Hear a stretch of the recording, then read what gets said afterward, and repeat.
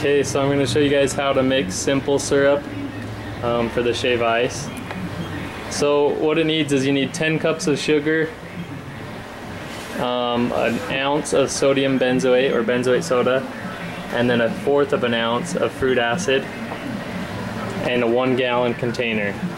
So you take the sugar and put that in, and make sure you have a good funnel that makes it flow fast, because I learned that the hard way. it's a lot faster if the funnel goes fast.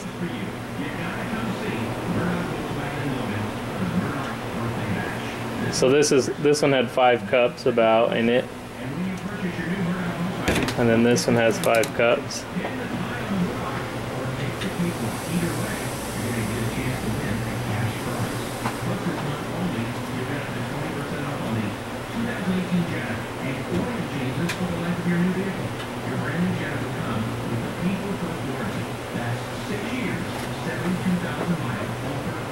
Okay. Then once all that goes down, you can add the fourth of an ounce of fruit acid or citric acid and an ounce of benzoate soda or sodium benzoate. So once that's all added,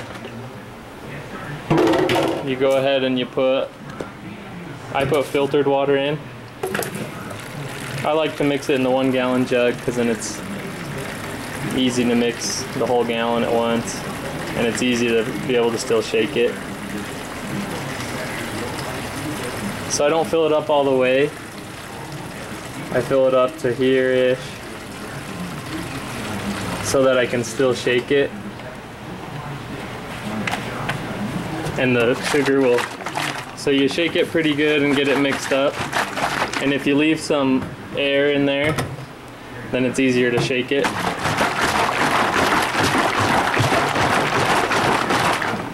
So I shake it a little bit till all the, the big sugar that's isn't clumped at the bottom. And then I top it off with water.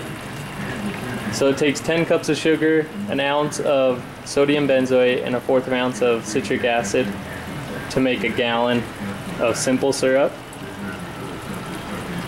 So once that's full there, I shake it and then I keep I keep an eye on it for a minute while I'm doing other thing. I usually mix about five, four or five at a time to save time.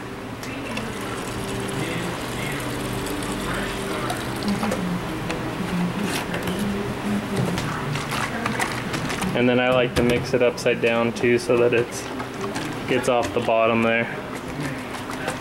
Okay, so that's how you mix the simple syrup. Then once you have the simple syrup already made, you can take, I, I like to get my flavoring from Southern Snow.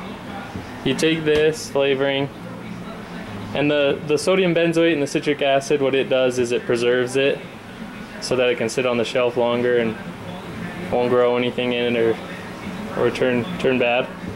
So you take one ounce of concentrate and then you and you put it in a, a quart bottle like this and then you fill the rest with simple syrup and then shake it and then you're done. So it's pretty simple to make.